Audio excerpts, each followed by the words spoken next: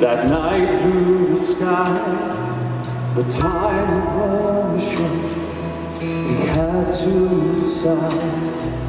And so as he flew back over the land, a gift for his love was there in his hand.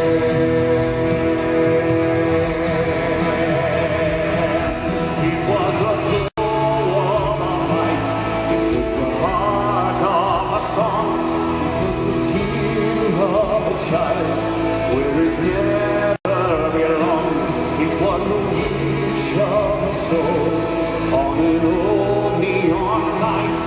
And the again on that